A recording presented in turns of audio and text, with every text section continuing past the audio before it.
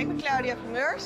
Ik ben advocaat huurrecht uh, eh, bij Kusteradvocaten. Um, wat JM waardevol voor me maakt is dat ik op dit moment ben ik zelf nog geen ondernemer. Uh, maar dat is wel een kant die ik heel graag op wil. Dus ik spreek bij JM heel vaak andere mensen die jong zijn, ondernemend zijn, vaak ook al ondernemer zijn.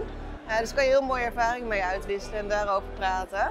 En verder is het natuurlijk ook heel sociaal en heel gezellig. Met heel veel borrels en evenementen zoals dit hier. dus dat maakt het voor mij heel waardevol.